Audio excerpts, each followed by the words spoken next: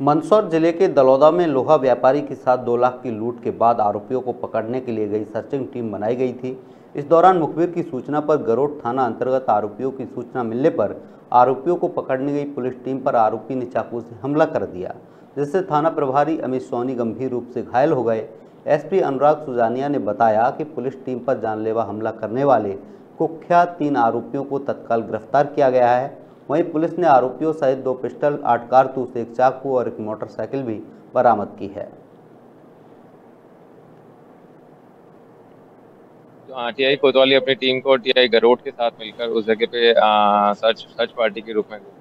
और सर्चिंग करने के दौरान ही जो मुख्य आरोपी था लूट का वो एकदम से सामने आ गया। तो उसको हिरासत में जब लेने की कोशिश की गई टीआई साहब के द्वारा उसी दौरान उसने शोर मचाया तो उसके अन्य साथी जो थे, वो निकल के आए और उनमें से एक ने टीआई कोतवाली अमित सोनी जी के